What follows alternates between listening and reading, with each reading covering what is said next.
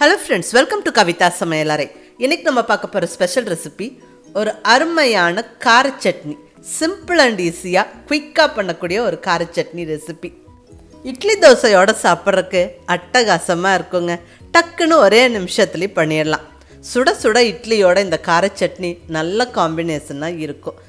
இது இங்கே கொங்கு நாட்டு ஸ்டைல் ரெசிபீஸில் ரொம்ப ஒரு ஃபெமிலியரான ரெசிபிங்க டக்குன்னு ஒரே நிமிஷத்தில் செஞ்சிடலாம். நல்லா சுட சுட இட்லியோட சாப்பிட்றதுக்கு அட்டகாசமாக இருக்கும். தோசைக்கும் ரொம்ப நல்லாயிருக்கும் தோசை மேலே இந்த சட்னியை நல்லா தடவி விட்டு முட்டையை உடச்சி ஊற்றி நல்ல ஒரு கார முட்டை தோசை செஞ்சாலும் அட்டகாசமாக இருக்குங்க. கார முட்டை தோசை எப்படி செய்யணுங்கிற டீட்டெயில் வீடியோவும் இங்கே இன்க்ளூட் பண்ணியிருக்கிறேன். மிஸ் பண்ணாமல் அதுவும் நீங்கள் ட்ரை பண்ணி பாருங்கள் இப்போ வாங்க சிம்பிள் அண்ட் ஈஸியாக குயிக்காக ஒரு கார சட்னி வெங்காய சட்னி எப்படி பண்ணுறதுன்னு பார்க்கலாம். இப்போ ஃபஸ்ட்டாக நம்ம தேவையான பொருட்கள் என்னென்னு பார்த்துடலாங்க இங்கே ஒரு இரநூறு கிராம் அளவுக்கு வெங்காயம் எடுத்துருக்கிறேன். சின்ன வெங்காயம் பெரிய வெங்காயம் ரெண்டு கலந்து எடுத்து வச்சுருக்கிறேன். பர்டிகுலர்லி இந்த சட்னி சின்ன வெங்காயத்தில் பண்ணுனா ரொம்ப ரொம்ப டேஸ்ட்டாக இருக்கும்.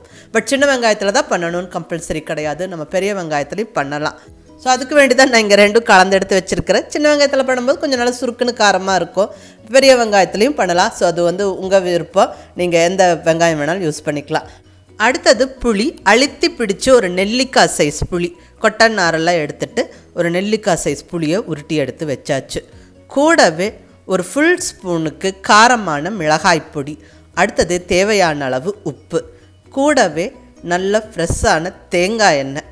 இந்த சட்னிக்கு ஹைலைட்டே இந்த தேங்காய் சேர்க்கறது தாங்க. அதாவது நம்ம எடுத்து வச்சிருக்கிற பொருளெல்லாம் பச்சையாக அரைக்க போகிறோம் தண்ணி எதுவும் சேர்க்க போகிறதில்ல தேங்காய் சேர்த்து அரைச்சிக்க போகிறோம் தேங்காய்யை கலந்து வைக்க போகிறோம் அதுதான் இந்த சட்னி. அட்டகாசமாக இருக்குங்க டேஸ்ட்டு அந்த பச்சை வெங்காயத்தோட நம்ம உப்பு புளிப்பு காரமெல்லாம் கொஞ்சம் தூக்கலாக சேர்த்து அரைக்கிறோம். அதோட இந்த தேங்காய்னையும் சேர்த்து அரைச்சி கலந்து வைக்கும்போது ஆஹா அட்டகாசமாக இருக்குங்க. வாசனையும் டேஸ்ட்டும் இது ஒரு இன்ட்ரெஸ்டிங்கான டேஸ்ட்டோடு இருக்கும். கொஞ்சம் சுருக்குன்னு காரசாரமாக சட்னி சாப்பிடணும்னு விருப்பப்படுறவங்களுக்கு கண்டிப்பாக இது ரொம்ப பிடிக்கும். இங்கே பொள்ளாச்சி சைடெல்லாம் வந்து இது ரொம்ப ஒரு ஃபெமிலியரான ஃபேமஸான சட்னிங்க. சுட சுட இட்லியோட ரொம்ப நல்லா பொருத்தமாக இருக்கும். இப்போ வெங்காயம் சேர்த்துட்டோம். இது கூடவே நம்ம எடுத்து வச்சிருக்கிற நெல்லிக்காய் சைஸ் புளியும் சேர்த்தாச்சு. அடுத்ததாக நல்ல ஒரு ஃபுல் ஸ்பூன் காரமான மிளகாய் பொடி சேர்த்தாச்சு. காரம் வந்து உங்களுக்கு தகுந்த மாதிரி நீங்கள் டிசைட் பண்ணிக்கோங்க. பட் இந்த சட்னி கொஞ்சம் சுருக்குன்னு காரமாக இருந்தால் தான் ரொம்ப நல்லாயிருக்கும் அடுத்தது தேவையான அளவு உப்பு சேர்த்தாச்சுங்க. வேணுங்கிறவங்க இது கூட ஒரு சின்ன பீஸ் வெல்லம் ஜாகரி சேர்த்துக்கலாம். பட் நான் சேர்க்க மாட்டேன். எனக்கு இந்த உப்பு புளிப்பு காரமெல்லாம் இப்படி கொஞ்சம் தூக்கலாக இருக்கணும். இப்போ அரைச்சிக்கலாம் தண்ணி விடாமல் அரைக்கணும். இந்த ஸ்டேஜில் ஒரு டேபிள் ஸ்பூன் அளவுக்கு தேங்காய் சேர்த்து நல்லா ஃபைனாக அரைச்சிடலாங்க. இந்த வெங்காயத்தோட இந்த தேங்காயும் சேர்த்து அரைபடும் போது ரொம்ப நல்ல வாசனையாக டேஸ்ட்டாக இருக்கும். பாருங்கள் இந்த அளவுக்கு நல்லா அரைச்சிக்கணும். அவ்வளோதாங்க நம்மளுக்கு சட்னி ரெடி ஆகிடுச்சு இதை ஒரு பவுலுக்கு ட்ரான்ஸ்ஃபர் பண்ணிடலாம்.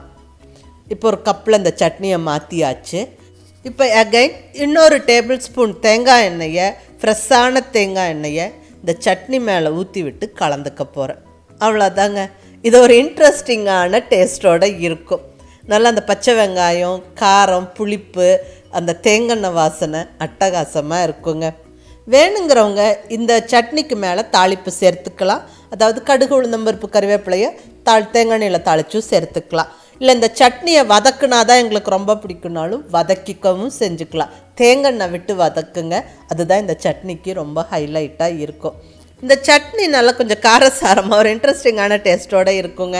நல்ல சுட சுட இட்லியோட ரொம்ப நல்லா பொருத்தமாக இருக்கும். மிஸ் பண்ணாமல் ஒரு சிம்பிள் அண்ட் ஈஸியாக டக்குன்னு ஒரு காரசாரமாக சட்னி பண்ணணும்னு யோசிச்சிங்கன்னா இதை நீங்கள் ட்ரை பண்ணி பாருங்கள்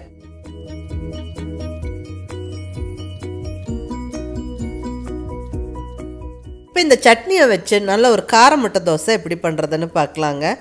நல்ல ஒரு தோசை ஊற்றிக்கிட்டு அது மேலே இந்த சட்னியை ரெண்டு ஸ்பூன் எடுத்து நல்லா தடவி விட்டுறலாம்.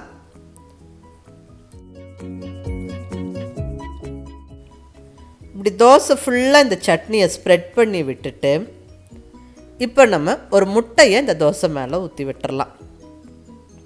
ஸ்டவ்வை மீடியம் ஃப்ளேமில் வச்சுக்கிட்டே இதெல்லாம் பண்ணுங்கள் முட்டையும் நல்லா அந்த தோசை ஃபுல்லாக ஸ்ப்ரெட் பண்ணி விட்டுருவாங்க.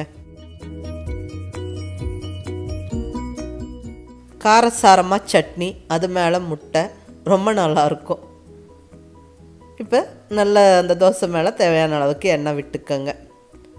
பொறுமையாக வேக விட்டு திருப்பி போட்டு ஒரு நிமிஷம் வேக விட்டு மறுபடியும் நம்ம திருப்பி போட்டு மடிச்செடுத்தா அவ்வளோதாங்க நல்ல காரசாரமான காரமுட்டை தோசை ஜம்முன்னு ரெடி ஆயிடுச்சு இது ஒரு இன்ட்ரெஸ்டிங்கான ரெசிபி ரொம்ப நல்ல டேஸ்ட்டாக இருக்கும். இந்த தோசை அப்படியே சாப்பிட்றதுக்கும் நல்லாயிருக்கும். ஒரு சிம்பிளாக ஒரு தேங்காய் சட்னி வச்சு சாப்பிட்றதுக்கும் நல்லாயிருக்கும். இதுவும் வந்து ஒரு ஒன் மினிட் தேங்காய் சட்னி. இந்த ரெசிபியும் வந்து ஆல்ரெடி அப்லோட் பண்ணிட்டேன். அது நிறைய பேர் செஞ்சு பார்த்துட்டு ரொம்ப நல்லா இருக்கிறதா ஃபீட்பேக் கொடுத்துருக்குறீங்க. நன்றி.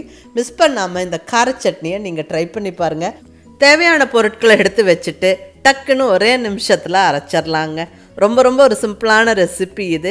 பட் ரொம்ப நல்லா டேஸ்ட்டாக இருக்கும். ஸோ மிஸ் பண்ணாமல் ட்ரை பண்ணி பார்த்துட்டு எப்படி இருந்ததுன்னு உங்கள் ஃபீட்பேக் சொல்லுங்கள் பிடிச்சிருந்தா லைக் பண்ணி ஷேர் பண்ணி கமெண்ட் பண்ணுங்கள் கவிதா சமையலாரி சப்ஸ்கிரைப் பண்ணி என்னுடைய மற்ற ரெசிபிஸும் வீடியோஸும் பாருங்கள் தேங்க்யூ